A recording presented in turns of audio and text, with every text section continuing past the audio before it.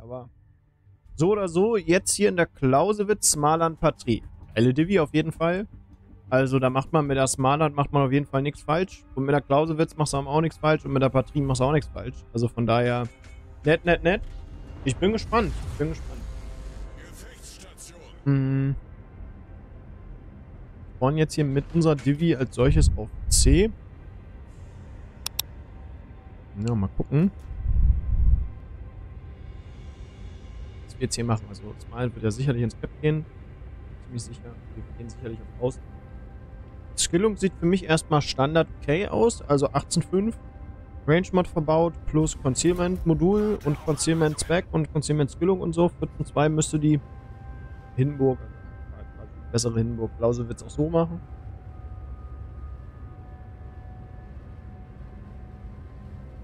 Und ja, fahren wir jetzt auf C auf Flank. Also nach außen. Ist am Ende Standard. Ne? Wir wollten natürlich mit der Clausewitz, so wie auch immer, habt ihr auch Schiffsverstellung und so weiter und so weiter bei uns auf dem Kanal. Natürlich erstmal eure DPM einsetzen. Krass farmen, das ist genau das, was du ähm, machen willst. Immer schön, mh, mm, immer schön äh, farmen. Das ist wichtig. Irgendwie dich, da willst dich jetzt nicht unbedingt angeln oder so. Also klar, du willst dich natürlich angeln, aber willst dich jetzt nicht irgendwie irgendwie reinpushen oder irgendwas, sondern du willst dich natürlich erstmal relativ early auch in den Kite stellen und dann natürlich äh, äh, ordentlich Damage machen. Das Schiff kommt über HE, auch hin und wieder mal mit AP, je nachdem. Und ähm, ja. So, da hinten kommt Kremlin, Thunderer, Satsuma. Also schon mal ordentlich was zu farmen für uns. Und äh, ja.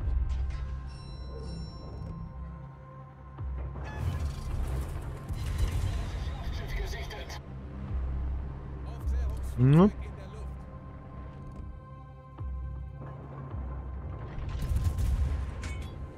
Seht ihr hier auch, arbeitet viel mit Freelook. War schon mal ein gutes Zeichen. Und da siehst, sieht man nämlich im Allgemeinen ähm, halt auch, wo, wo Schüsse herkommen, wo man äh, äh, wie dann auch dodgen kann. Siehst du natürlich so, äh, ähm, echt da. Wanderer ballert jetzt auf uns Kremlin auch. Oh, engeln uns jetzt hier gut. Das passt. Das ist am Ende, das ist am Ende natürlich die große Stärke von der, von der Clausewitz. Ähm, wisst ihr ja selber auch. Overmatch ist halt nicht. Und äh, damit, sobald ihr halt einigermaßen weit weg seid, ähm, ist halt da nichts. Also, die können euch halt nicht viel, nicht viel Schaden machen. Die werden euch ja nicht durch den Po schießen. Das ist die Chance ist ja nur wirklich gering. Wer geht hier auf? Hm? Macht hier auch zu wenig Lied.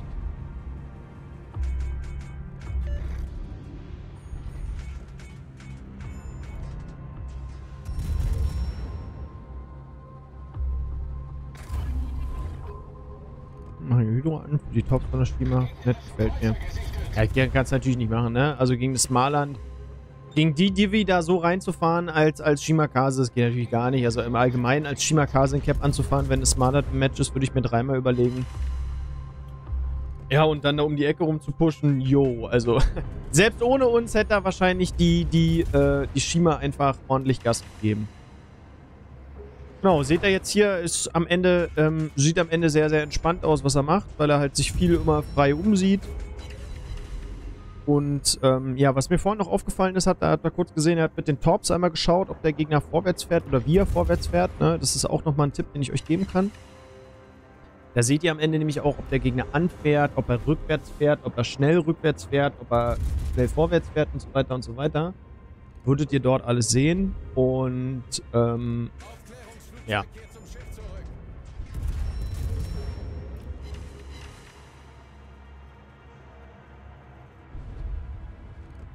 Und machen jetzt hier erstmal genau unseren Job, Leute. 80.000 Schaden, 6 Brände, 61 Hits bis jetzt. Lütchens ist übrigens dabei, Leute. Wir sehen die roten Tracer. 85.000 Schaden. Happy Birthday. Ja. Genießt bitte den HE Alpha, der hier auch auf die Thunderer fliegt, Leute. Achtet einfach mal auf die Zahlen. Wahnsinn. Das waren 7000. Ja? 7000. 17,1 Kilometer, 7000.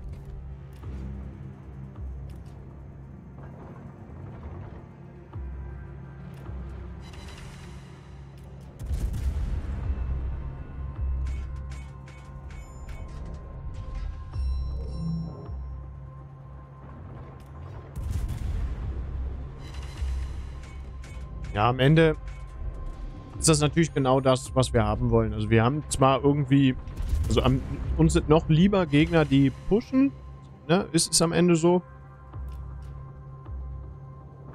Aber man muss halt hier jetzt auch mal sagen, also hier, das, das gefällt mir auch sehr gut. Also er hat jetzt hier auch schon gesehen, durch sein freies Umsehen, dass dieser Zoomer hier seinen, den Special-Modus, also hier diesen Genauigkeits... Äh, wie nennt man das? Also den Spezialmodus des Superschiffs quasi gezogen hat, dann gehen die Schüsse nochmal deutlich enger zusammen und das hat er gesehen und dadurch hat er sich darauf vorbereiten können und konnte die Satsuma jetzt hier am Ende dodgen. Die Shells waren auf keinen Fall schlecht gesetzt von der Satsuma hier auf 18 Kilometer, aber es sind halt 18 Kilometer, da kannst du halt dodgen. Wenn du es halt siehst, kannst du es halt dodgen.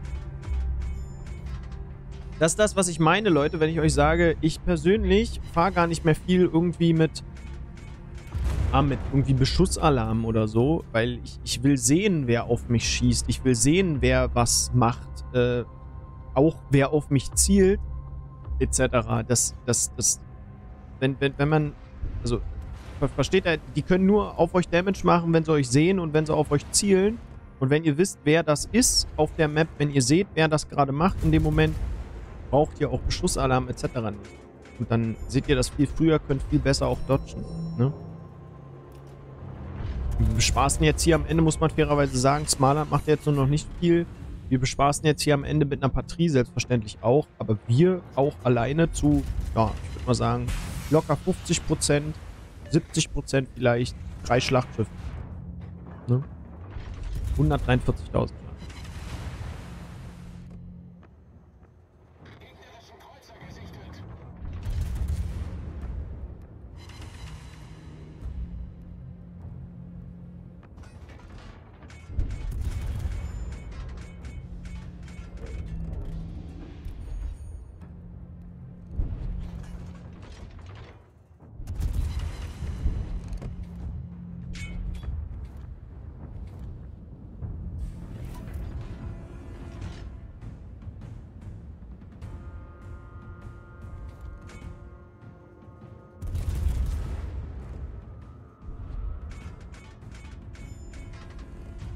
So.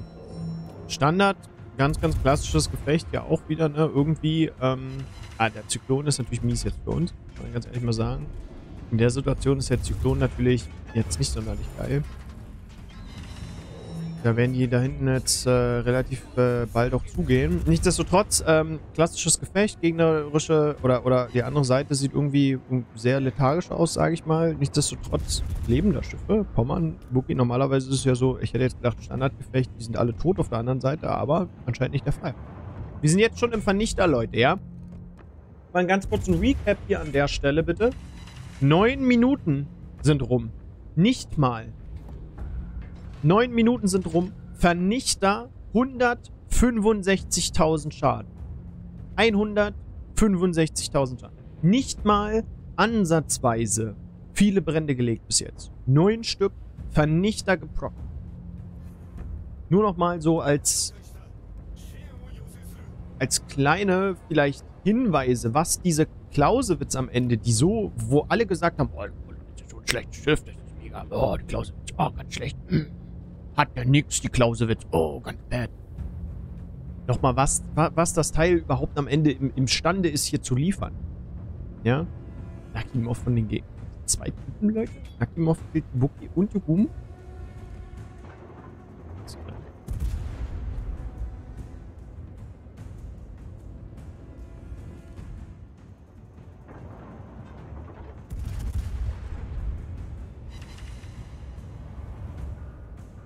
Nur jetzt hier auch. Tipp von mir, also nicht an Snackman, Snack, der, dem Snack kann ich keine Tipps mehr geben, der weiß ganz genau, wie man spielt. Ähm, er zielt hier über die Minimap, seht ihr unten am Kreis, er muss die Gegner nicht sehen, er weiß, wo die stehen am Ende, weiß ungefähr, was die machen. Seht ihr da unten, Kremlin wird gerade durch unsere Smalern aufgemacht. Und dadurch kann er natürlich auch auf die schießen, obwohl er die überhaupt gar nicht gerendert. Aber er sieht sie auf dem Menü.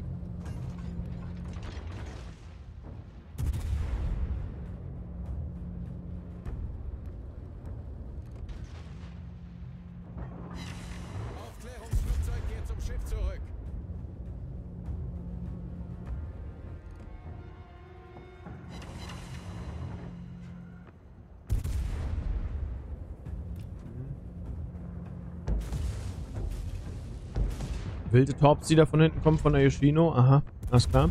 Wild.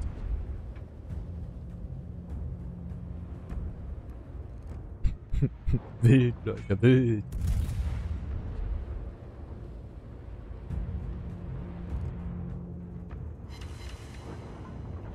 Na, aber seht mal, äh, scha schaut mal, also wenn wir es jetzt hier nicht machen würden, ich meine, klar, wir können jetzt hier auch fünf Minuten lang mit der Nase bohren, aber nur durch das Minimap schießen, schaut mal, wir, wir, machen Damage darüber. Wir machen Damage, ja, und hin und wieder vielleicht kommt auch mal ein Brand und so.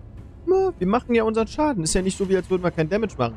Klar würden wir, wenn er, wenn er gespottet wäre, viel, viel mehr machen, weil wir bessere Dispersion hätten und alles. Aber nichtsdestotrotz, wir machen unseren Damage. 193.000. Ah, guck mal, da wurde gerade gerendert, ist nämlich gestorben. Das war der Kreml.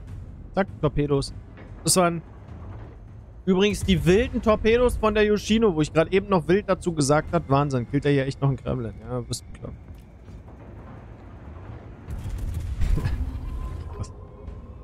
Ja, er hat ihn in der rausgekriegt. naja, Skipbomben. Ja, seht ihr, ich meine, klar, man trifft auch nicht alles über die Minimap. Das ist auch manchmal, wenn die manövern, das seht ihr nicht. Ihr seht nicht äh, genau, also ihr, ihr könnt auch nicht genau einschätzen, wie schnell die fahren und so. Es ist halt schon, man muss das halt schon probieren, aber es ist jetzt auch nicht, nicht Rocket Science. Also ich meine, ihr schießt halt drauf die Leute, ihr könnt ja, könnt ja abschätzen, ob die jetzt Fullspeed fahren oder nicht, dann zieht halt ein bisschen mehr vor oder ein bisschen weniger und dann am Ende trefft ihr vielleicht mal zwei, drei, vier, fünf von euren äh, Geschützen, ne? So, Jetzt wird spannend, Leute. Jetzt kommen wir in die Situation, wo es spannend wird. Jetzt sind richt wichtige, richtige Entscheidungen von uns gefragt. Da ist noch eine Booster, da ist noch eine Polis. Das kann hier gefährlich sein. Also irgendwie einfach so ins Cap reinfahren, hm, wahrscheinlich eher nicht. Müssen auf jeden Fall hier noch schlau spielen, denn Runde ist auch noch safe nicht durch. Überlegt mal einer oder zwei Mates, die sich jetzt hier noch wegbasten und dann hat sich die Sache erledigt. Dann sind es nämlich noch drei Schiffe und dann ist eh durch. Aber natürlich muss man auch fairerweise sagen, von unserer Divi leben halt nur alle. Ne? Smarland voll da, Patrie voll da und easy. Ne?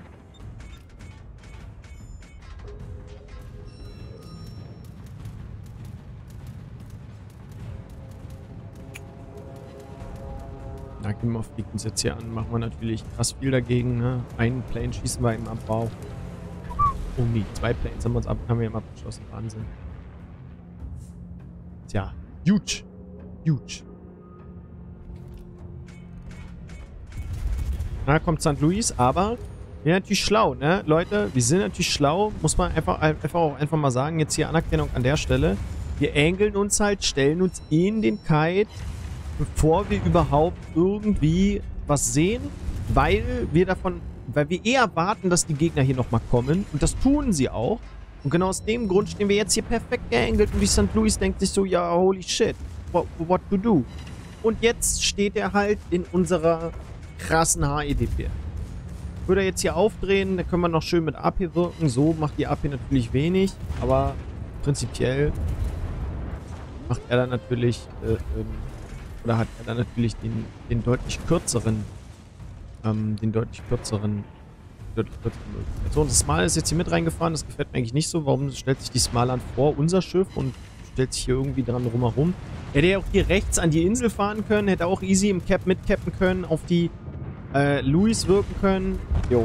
Und deswegen schippe ich Smile dann auch, weil die Polis dann auch irgendwann äh, Raider gepult hat. Ich glaube, müsste von der Polis sein. Das war jetzt hier eine Mischung aus greedy und ignorant. Das hat mir jetzt nicht so gut gefallen. Ja, und die Luis. Das war's dann am Ende schon mit der Luis, ne? Also 190.000 Schaden hatten wir vorher gehabt. Jetzt sind wir irgendwo bei 220. Wir haben ansonsten, glaube ich, in der Zeit auf gar niemand anders geschossen. Klar, und St. Louis hat halt 40.000 Leben. So viel mehr ist er halt auch nicht. Der heilt sich dann halt irgendwann vielleicht drin nochmal, aber irgendwann ist der halt dann auch relativ fix tot. Da macht er auch nicht mehr viel. Was soll er denn tun? Und wir natürlich auch schlau einfach, sich jetzt hier rauszuziehen. Was mir auch nicht gefällt, sage ich jetzt auch ganz ehrlich, ist, dass da oben die Patrie reinpusht. Warum pusht da jetzt die Patrie? Warum? Aus welchem Grund? Also ich meine, klar, er macht damit einen Angle auf für uns, aber ist doch krass gefährlich. Also die Patrie pusht da jetzt rein in 1, 2, 3, 4 und ein Carrier. 5 Mann am Ende. Also 4 Mann und ein Carrier. Ähm. Uh.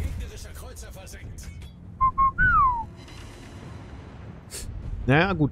Wir können, wir können das quasi am Ende ähm, mit ich sag mal, mit Nutzen, dadurch, dass die Patrie da oben reingepusht ist, der war, der war dem Tode geweiht, das ist mir vollkommen klar. Ähm, hätte ich auch nicht erwartet, also ich nicht erwartet, dass man da als Patrie jetzt dann noch so reindrückt. Am Ende sieht die Runde plötzlich, das ist genau das, was ich meine, sieht die Runde plötzlich wieder ziemlich spannend aus, Leute, ne? Guckt mal an. Die Thunderer, Hannover, Nakimov gegen Nakimov und Clausewitz. Wenn wir so gefahren werden wie hier äh, Smarland, also unsere Divi-Mates, die jetzt bis dato ohnehin, ohne Frage, keinen schlechten Job gemacht haben. Aber die sind halt reingepusht in dem Moment, wo die Runde noch nicht vorbei war. Die sind ja jetzt beide draufgegangen, ne? Beide tot, beide dead. Und jetzt hängt an uns. Jetzt hängt das hier alles an Snack, alles an der Clausewitz. Und am Ende, das sind immer noch keine... Ja, sind wir noch nicht zu 100% safe. Klar sind die low, also sowohl die Hannover als auch die Thunder sind low. Aber killen müssen wir sie trotzdem, ne? Wir müssen uns das jetzt noch, noch, ähm, noch irgendwie hinkriegen. Und wären wir jetzt auch so reingefahren, wären wir, wären wir nicht ganz überlegt, ganz kühl am Ende, ganz strategisch in den Kite, ins B-Cap reingefahren, wären wir auch von der Anapolis, von der Luis überrascht worden am Ende und hätten es am Ende nicht gepackt, wären hier rausgegangen und ähm, ja, dann wäre die Runde ähm, safe durch.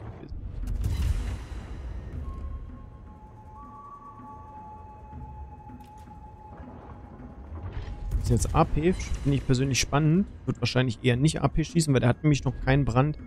Verstehe ich aber, warum er es macht, weil AP ist halt von der Klausel auch echt einfach gut. Ne? Ihr seht auch den Damage. 7000 und so. Das ist echt einfach viel, was da kommt. Der hat halt noch nicht mehr viel, ne? Also jetzt hier die Hannover. Schießen wir dreimal AP drauf. Ist der Typ weg. Hat sich die Sache erledigt. Ähm, ja. Und geht auch raus. Das passt. Das ist alles gut. Nichtsdestotrotz könnte das nochmal ein schwieriges Brett zu bohren sein. Also Thunderer hat halt auch nicht mehr viel. Ähm, Thunderer wechselt jetzt hier auf HE. Fällt mir sehr gut auf, weil bei Long Range und so, klar, hat auch nicht mehr viel, aber ne, wegen Long Range. Ja, unser Team verlässt sich auf sie und jetzt müsste die Runde eigentlich safe gewonnen sein. Jetzt müsste die Runde safe durch sein, aber die Runde ist nicht safe durch, weil die Nakimov nämlich von den Gegnern auch blöd spielen. Alle drei von den Typen haben jetzt richtig äh, am Ende schlecht einfach gespielt. Hannover schlecht.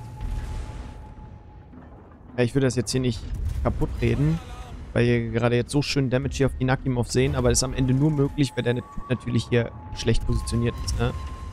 Clausewitz, krasse AP, 320.000 Schaden, zack, der geht Typ raus. Macht doch gar nichts mehr dagegen. Aber prinzipiell, was ich meine ist, was ich meine, Leute, und das ist äh, ganz, ganz wichtig am Ende auch nochmal noch zu sagen, wir machen jetzt hier noch die Endscreens mit euch, ähm, bitte nicht wundern, wartet ganz kurz. Tick, tack, einmal umgeschalten, hier haben wir die Endscreens. Was ich am Ende, und jetzt kann ich auch mal hier mein, meine Webcam wieder anmachen, oder Leute, tick, tack, hallo, moin. Ähm, was ich am Ende ähm, auch sagen will, ist, klar, ohne Frage, hätten uns die Gegner hier noch die Runde wegnehmen können. Alleine die Nakimov, also die haben ja zu dritt unsere Nakimov gekillt. Dass das passiert, war relativ erwartbar. Dass wir in, in, deren, in der Zeit vielleicht auch noch zwei von den Babys rausnehmen können, war auch erwartbar. Aber so eine Hannover und so, wenn ich dann schon wenig Leben habe, dann stelle ich mich doch nicht ins Open Water. Dann fahre ich doch irgendwie so, dass ich die Clausewitz auch überraschen kann. Ja. Dass der Carrier rausgeht von uns, das war relativ klar. So wie der, wo der da oben gestanden hat, das war auch am Ende in der Situation einfach missplayed. Aber viel, viel schlimmer war die gegnerische Nakimov. Wenn der Typ einfach weggefahren wäre, wir hätten selber in unser Klausewitz nichts dagegen machen können. Der, der, also ich meine, klar, wir haben AA und die, die, schießt sicherlich auch hin und wieder mal was ab, aber eine Nakimov, die fliegt uns an, die macht uns tot. Da, da, da, da geht gar nichts dran vorbei. Und das ist das, was ich meine. Vorher wurde es nochmal richtig spannend durch unsere Win Harder, beiden Leute, die wir in der Divi hatten, die sich auch halb weggeschmissen haben, ins Cap reingefahren sind, wo sie hätten nicht ins Cap müssen und auch oben rennen, also Smaland und Patrie. Da wurde es nochmal knapp, obwohl die Runde vorher entschieden war. Und dann haben aber die Gegner auch nichts daraus gemacht, sind halt selber irgendwie weitergefahren wie im Moospot, Hannover und, und, und Thunderer genauso auch. Und, und ähm, ja, dann Nakimov am Ende hat es dann am Ende krass verloren und dann geht's halt auch raus. Ne? Ein gut gespieltes Schiff, das ist das, was ich den Leuten immer sage. Leute, klar, ohne Frage, könnt ihr nicht jede Runde entscheiden, aber viele schon. Ne? Clausewitz jetzt hier, ähm, ich weiß nicht, fehlt da noch irgendwas, was man hätte noch abräumen können? Keine Ahnung, also wir haben hier einen High Caliber, wir haben hier einen Vernichter, wir haben hier Divi Krake, wie nennt er sich? Koordinierter Angriff oder Koordinierter Angriff, glaube ich. Ah, ich weiß gar nicht genau, wie sich das Emblem nennt, aber auf jeden Fall hier sieben Kills in der Divi, fünf Kills bei uns, Krake. Um, unterstützt. So, ist das mit dem Blitz? Hm, nee, vielleicht ist das koordinierter Angriff, das ist Unterstützer. Ähm, das ist der Vernichter. Und oh, das ist koordinierter Angriff. Das ist Shoulder to Shoulder. Das ist. Nobody knows, Leute. Die neuen Divi-Zeichen habe ich noch nicht drauf. Auf jeden Fall haben wir alles abgeräumt, ganz ehrlich. Fünf Kills hier auch. Klasse Runde. Also von uns, ganz ehrlich, Leute, muss ich jetzt auch mal ein ganz, ganz, also eine große Ehre auch nochmal einen Snack an dich aussprechen. Also ich wüsste nicht, persönlich ich, und ich bin in einer ganz anderen Situation, als du damals dass das gespielt hast. Ne? Ich sitze hier in meinem Stuhl, alles entspannt, kann mir das ganz entspannt anschauen, kann wunderbar analysieren. Das ist in der Situation, wenn du das spielst, immer nochmal was ganz anderes aber trotzdem top gespielt. Ich wüsste jetzt nicht, was ich hier hätte anders machen können. Wie du B da angefahren hast, einfach schlau, einfach gut, einfach gut gemacht. Verdient auch erster gewonnen hier. 3200 äh, Base, 5 Kills. Wie Mates waren auch gut, ohne Frage, aber ich habe am Ende nicht genau verstanden, was sie da gemacht haben. Das von der Patrie habe ich noch verstanden, das von der Smalern auf jeden Fall gar nicht. Und ähm, ja, Thunderer. 91.000 Damage hier von der Thunderer. Jo. Hat sich, hat sich gelohnt, Leute. Jetzt können wir hier auch nochmal schauen. Also AP haben wir ja am Ende auch geschossen. Ist am Ende auch nicht wenig. Äh, 104.000 Damage hier durch AP, aber natürlich klar, ne, Nakimov haben wir nur AP drauf geschossen, 60.000 könnt ihr abrechnen, dann seid am Ende noch bei 40.000 ähm, AP Damage. Ähm, also trotzdem Aufteilung genau so, auch genau wie du geschossen hast, was du HE, was du AP geschossen hattest. Da war ein kleiner Punkt dabei, den hätte man anders machen können, aber ganz ehrlich, kein Vorwurf, kannst, kann man genauso auffahren. Also, ich gedacht, wüsste jetzt da nicht, was ich da jetzt für einen Tipp geben soll, war für mich perfekt gespielt. Und, ähm, ja. 1,8 Millionen Potential auch. 150.000 Credits sogar plus gemacht mit dem Lütchens, selbstverständlich. Das ist spannend. Also wir haben hier Spotterplane, haben hier Spotterplane und Steering Gears mit. Ich spiele das Teil normalerweise mit Conceal mit Expert, aber natürlich eine Clausewitz ist nicht schlecht, ne? ganz ehrlich. Clausewitz hat ja auch, kriegt ja auch einen besseren Reload. Werden wir gleich sicherlich bei der Captain Skillung nochmal sehen. Ich hoffe, die ist ja auch mit dabei.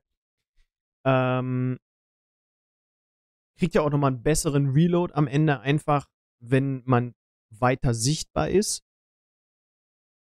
Und dafür kann man das Modul hier auf jeden Fall auch austauschen. Der Rest ist sehr gut. Den Rest kann man genauso fahren.